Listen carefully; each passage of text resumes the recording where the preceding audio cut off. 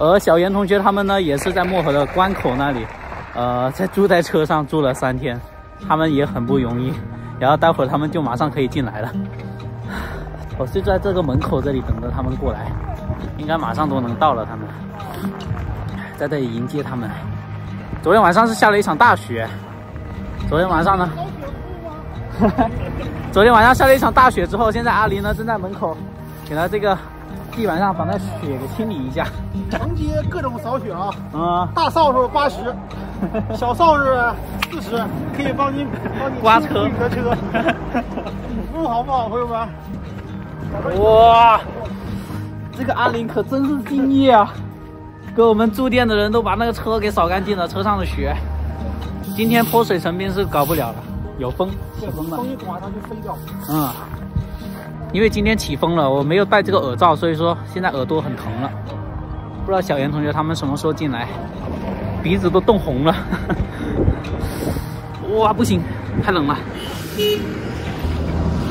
哇，戴上帽子，太冷了，太冷了。你看多有趣啊！这当地人在马路上遛娃呢。哇，这边人童年的乐趣啊，我们南方人是没体验过。上不来了。好可爱啊，那那小朋友。小袁同学终于到了，你们终于来了。你知道我在寒风中零下十一度等了你多久吗？你说是？你说马上到，你这马上等了十多二十分钟。太漂亮了。对，这个城市真的很漂亮哦。他的车跟你一样的。对，这辆车跟我的车是一样的。啊，不过他是自己改的。我那个是原厂改的，对他这辆车也可以。轮毂是自己换的啊？对他自己换的，辛苦你喽！你在外面住了好几天，算起来其实是八天。冷不冷？太冷了吗？呃，还好，其实还好。他借了我一个电源，我给他插一下那个，插一下那个电热毯。我看你在外面睡了那几天，肯定冷死了。阿林，客栈老板阿林。他们在外边睡了几天了？对啊，他一直睡车上。觉得还好。来，进去，进去，进去。南方第二名。身上就穿了一件衣服啊，在外面零下十一度。真的很抗冻。里面也是穿着件短袖。小袁，你要站在西北，我我欢迎你。这小袁同学也是不惧寒冷。啊，至少我尊重了一下漠河的人。对呀，他已经把拉上了。不过这几天是真的辛苦小严同学了，在外边住在卡口那里，住了好几天，都是零下十几度睡在车上。现在要去尝一尝有肉的生活了。这里真的是一堆车都在测试哎，他们这车全部都是把机盖给打开了，他那个数据直接传到车里面去了。对对对，你看，他也有接。这里是松苑，刚刚听阿林说，这里是漠河的福地。对我们漠河的八七年大火，冬天的一把火，有三个地方没有烧，这个原始森林没烧，还有这个对面的那个学校没有烧，学校没有烧，还有一个就是那个清真寺跟那个公共厕所没有烧。保留在城市里的很多城市都没有原始森林。好好有意境啊，这地方，这个树都有。一百二十四年了，哇！哦，主要原因是这边太寒冷了，每年只能长三个月，它那个年轮之间那个距离就像纸一样，小，非常薄，嗯，但是它很硬，因为它长得慢嘛，密实嘛，就硬。它这是属于一片原始森林，对，哇！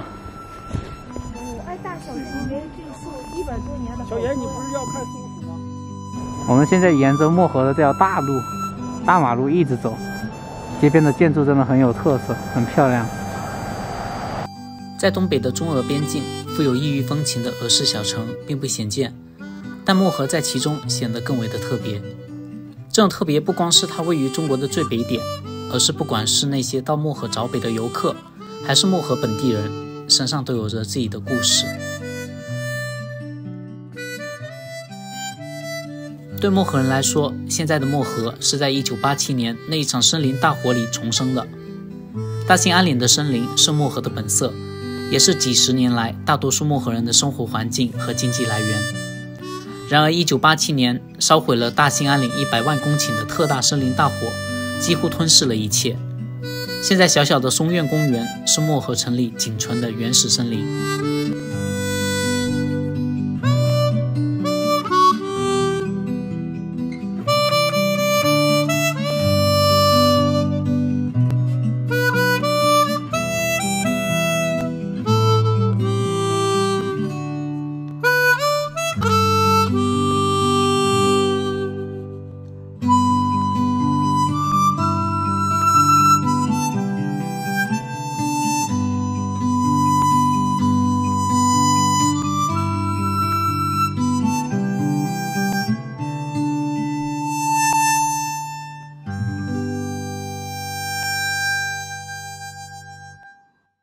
那今天这个铁锅是炖啥呀？嗯，铁锅炖一切，万物皆可炖，万物皆可炖。鱼，今天不是下雪吗？嗯，不是炖鸡就是炖鹅，只要一下雪，那个鸡和鹅都特别慌，慌的一逼。下雪了，他们就担心的沦落到这个地方了。对，今天又有就有一只沦落到咱们这锅里。对对对，铁锅，大铁锅，还没有上菜呢。嗯，很香，真的很香。东北的小烧。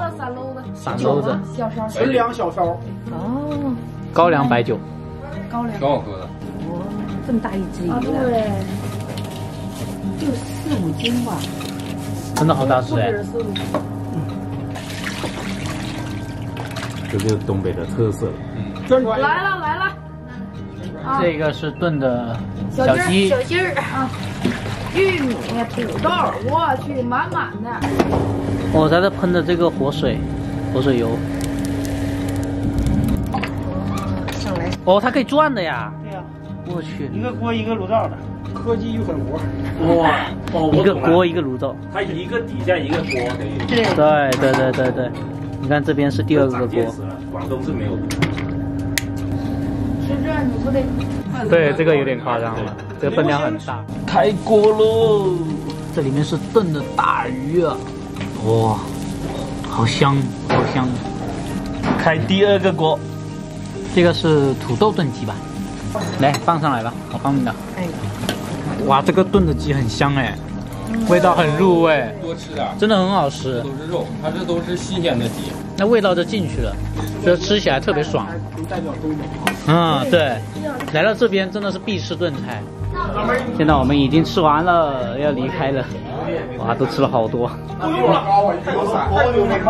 室外大冰柜。我要，我要，我要。挑挑几个冰糕一起吃吧。都不用放在冰箱里了。对。室外就可以冷冻了。我想吃这个，感觉你说的这个好吃哎。对，感觉你说的这个好吃。干杯！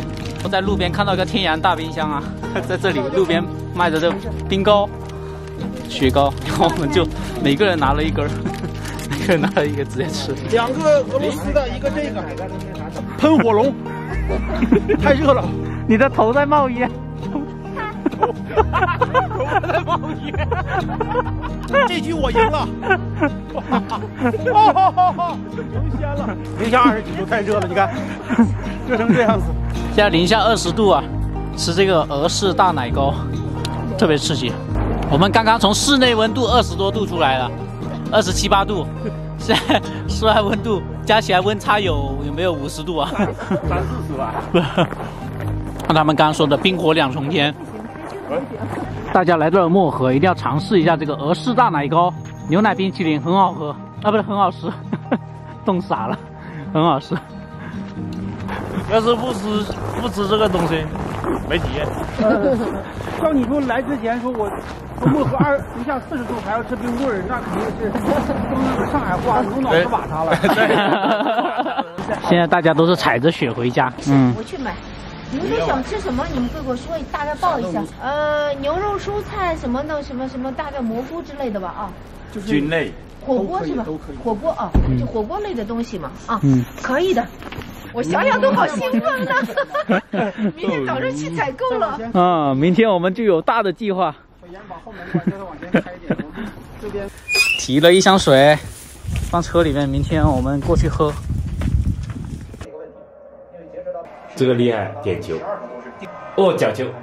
谁给？哦哇！二比零，二比零了！哇！拿一下我们的碎碎冰来庆祝。来来，哇，这个这个这个。汽水汽水仔，对汽水仔。来一人一个，嗯，亲自。哇，这个漂亮，漂亮，对。